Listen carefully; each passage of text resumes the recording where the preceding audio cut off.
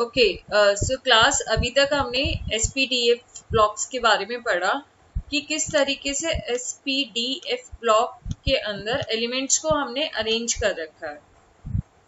इसके अंदर से मेन था कि जिंक कैडमियम एंड मरकरी को हम ट्रांजिशन एलिमेंट्स कंसिडर नहीं करते हैं। और राइट ट्रांजिशन एलिमेंट किस लिए कंसिडर नहीं करते हैं? क्योंकि ये ट्रांजिशन एलिमेंट्स वाली प्रॉपर्टीज़ को ही शो नहीं करते हैं। इनकी कॉन्फ़िगरेशन ये हो जाती है जो कि एक फुलफिल कॉन्फ़िगरेशन है। ओके okay, सो so फिर हमने एफ़ ब्लॉक एलिमेंट्स के बारे में भी देखा कि किस तरीके से उनको लैंथेनॉइड्स एंड एक्टिनॉइड्स के अंदर डिस्ट्रीब्यूट कर रखा है। So let's start with metals non metals and metalloids basically s block के अंदर एंड डी ब्लॉक के अंदर और एफ़ में सारे के सारे क्या आ जाते हैं? मेटल्स आ जाते हैं। इसलिए हम बोल सकते हैं मेटल्स पीरियोडिक टेबल में अबाउट 78 परसेंट से ज़्यादा है। ठीक है? सिर्फ़ पी ब्लॉक है जिसके अंदर तीनों चीज़ें आती हैं। मेटल्स भी आते हैं। नॉन मेटल्स भी। और मेटलॉइड्स भी। ओके सो इसके अंदर तीनों चीज़ें आ जाती है that is metals non metals and metalloids फिर हमने देखा कि किस तरीके से मेटेलिक कैरेक्टर अगर हम अलोंग पीरियड मूव करते हैं that is from left to right move कर रहे हैं तो मेटेलिक कैरेक्टर क्या हो जाता है डिक्रीज हो जाता है जैसे कि यहाँ एस ब्लॉक में इस इधर की तरफ़ सारे के सारे मेटल्स हैं। अगर हम इधर आ जाएँगे तो यहाँ गैसेस आ जाती हैं। नोबल गैसेस आ जाएँगी ऑक्सीजन नाइट्रोजन ये सब आ जाते हैं, जो कि किसकी तरह बिहेव करते हैं as a non metal right अगर हम अलोंग द ग्रुप मूव करते हैं that is top to bottom move करते हैं तो मेटेलिक कैरेक्टर क्या हो रहा है? इंक्रीज हो जाता है।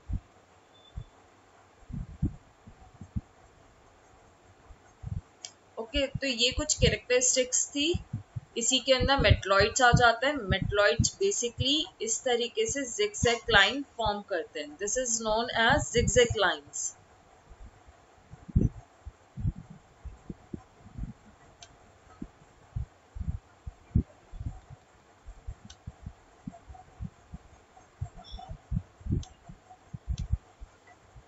अब कुछ ट्रेंड्स देखते हैं फ़िज़िकल प्रॉपर्टीज़ का। जैसे कि melting point and boiling point बताओ मेल्टिंग पॉइंट अलोंग हमें पता है मेल्टिंग पॉइंट जो जितना ज़्यादा हैवी सब्सटेंस होगा, या हम कह सकते हैं जिसका जितना ज़्यादा एटॉमिक वेट होगा तो उसके मेल्टिंग पॉइंट उतना ही ज़्यादा हाई होगा। तो अलोंग अ पीरियड अगर हम मूव कर रहे हैं, और अलोंग अ ग्रुप अगर हम मूव कर रहे हैं तो मेटेलिक कैरेक्टर तो इंक्रीज और डिक्रीज हो रहे थे। अगर हम बॉइलिंग पॉइंट की बात कर रहे हैं तो बॉइलिंग पॉइंट इंक्रीज होगा या डिक्रीज होगा अलोंग अ ग्रुप इस तरीके से।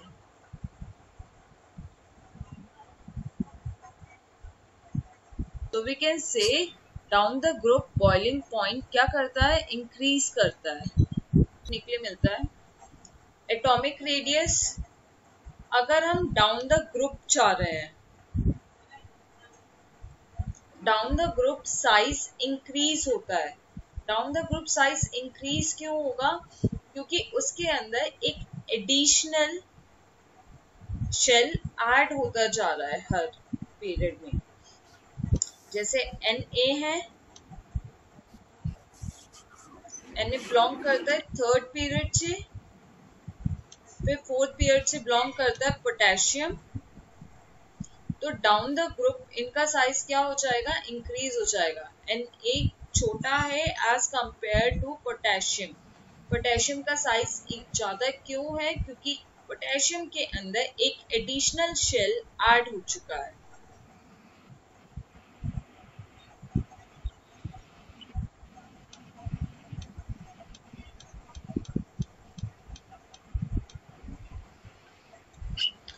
ऑलराइट right, अगर हम अलोंग अ पीरियड मूव कर रहे हैं, इस तरीके से।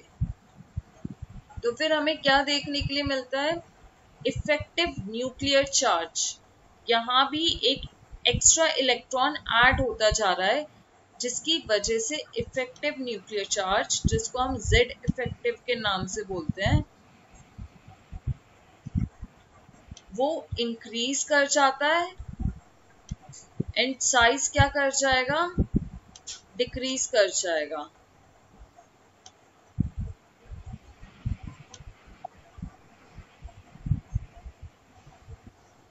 कोवेलेंट रेडियस मींस जब कोई एटम एक दूसरे के इस तरीके से क्लोज होते हैं। ठीक है? इनके बीच में कोई ओवरलैपिंग नहीं है। सिर्फ़ एक दूसरे के पास में है ये। तो इसी रेडियस को क्या बोला जाता है? कोवेलेंट रेडियाई बोला जाता है। ठीक है, यहाँ से इसके सेंटर से सेकेंड वाले के सेंटर का जो डिस्टेंस है, उसका half is considered as covalent radius next is metallic radius metallic radius जो मेटल्स रेडियस शो करते हैं, इस तरीके से उनको क्या बोला जाता है? मेटालिक रेडियस ओके अब क्वेश्चन अराइज होता है कि ये हमने एटम कितना ज़्यादा छोटा सा होता है। तो उसकी रेडियस किस तरीके से कैलकुलेट करी जा सकती है? एटम की रेडियस कैलकुलेट करने के लिए हम यूज़ करते हैं एक्सरे स्टडीज़ का। या फिर स्पेक्ट्रोस्कोपिक मेथड्स का यूज़ किया जाता है। ओके okay, पेपर में आईआईटी वगैरह में क्वेश्चन आता है। एटॉमिक रेडियस किसके थ्रू कैलकुलेट की जा सकती है? उसके अंदर डिफरेंट डिफरेंट चॉइसेस अवेलेबल होती है like X rays UV rays और गामा रेज इस तरीके से चॉइसेस अवेलेबल होंगी। तो correct answer is X rays okay या फिर कोई स्पेक्ट्रोस्कोपिक मेथड का यूज़ कर सकते हैं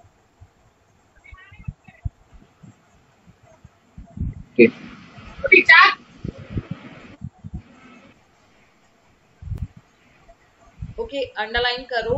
Atomic size generally decreases across a period it is because within the period the outer electrons are in the same valence shell and effective nuclear charge is increases so this is the main reason इसके ऊपर based question आता है।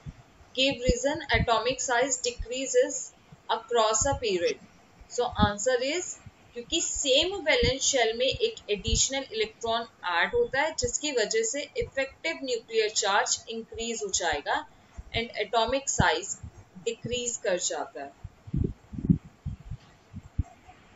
Okay okay, so so हम कह सकते हैं कि halogens alkali members metals के कंपैरिजन में बहुत ज़्यादा छोटे होते हैं।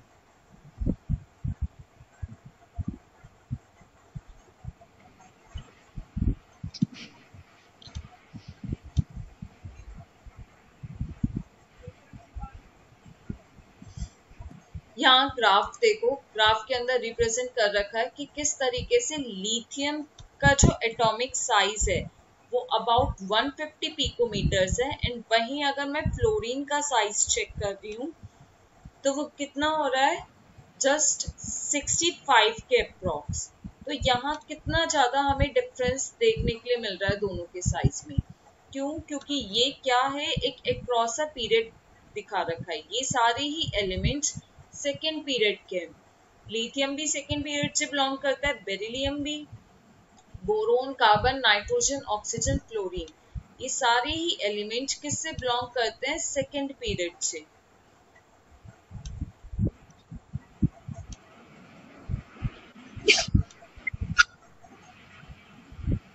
सो so, इस तरीके से साइज़ डिक्रीज हो जाता है।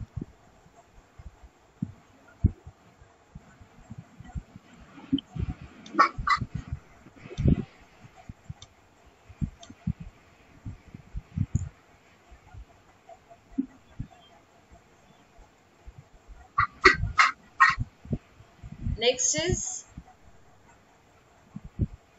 ionic radius ionic radius में अब दो तरीके के आयंस होते हैं.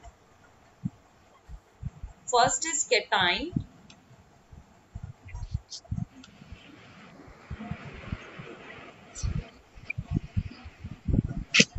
and second is anion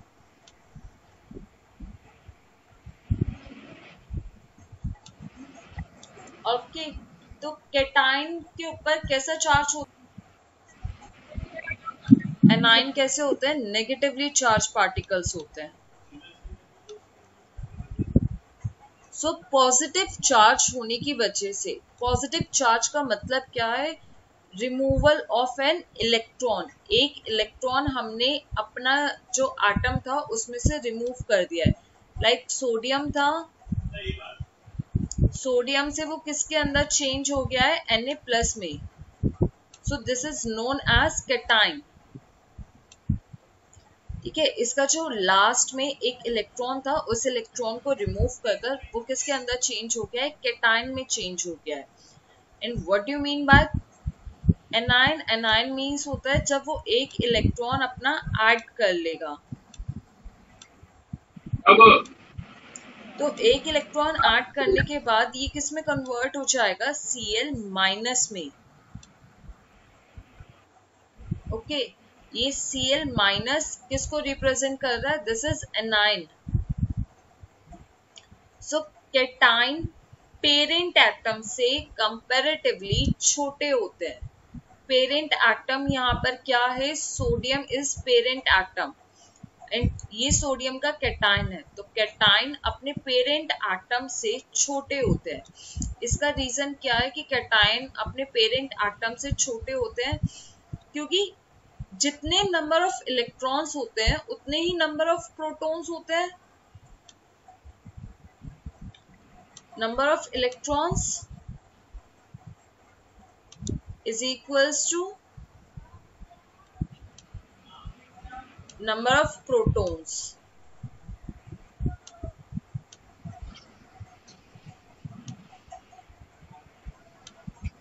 Okay number of electrons equal होते हैं नंबर ऑफ़ प्रोटॉन्स के। सो so, इसकी वजह से क्या देखने के लिए मिलता है?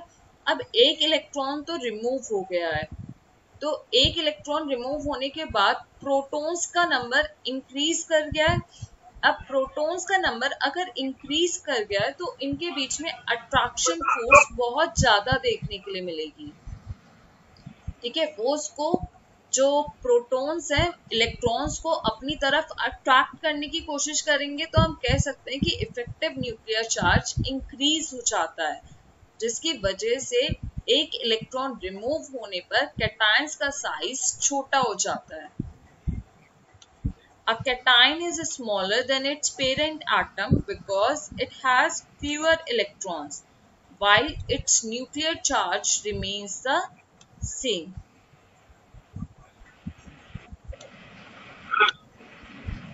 ठीक है सेम क्लोरीन के अंदर देखने के लिए मिलता है क्लोरीन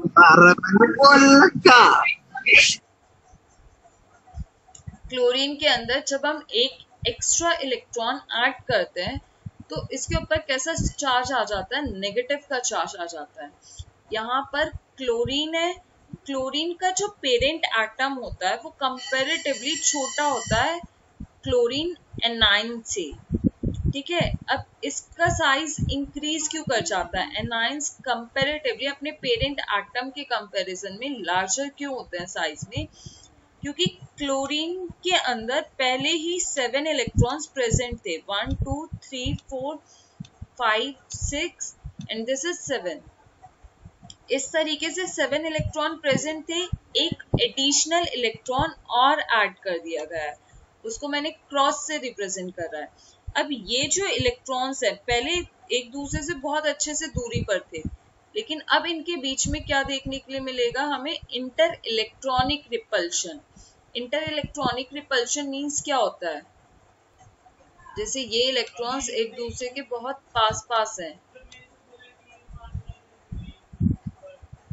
ठीक है, अब एक और एडिशनल इलेक्ट्रॉन इसके अंदर ऐड हो चुका है। तो इनके बीच में जो ये गैप था, अब वो गैप क्या हो गया? कम हो गया। ये इलेक्ट्रॉन क्योंकि एक और इलेक्ट्रॉन बाहर से आ रहा है तो उसके टूवर्ड्स रिपल्शन शो करता है। ठीक है, ये जो इनके बीच में यहाँ पर रिपल्शन लग रहा है, इसी रिपल्शन को बोला जाता है inter electronic repulsion next is iso electronic species वो हम नेक्स्ट क्लास में करते हैं what are the iso electronic species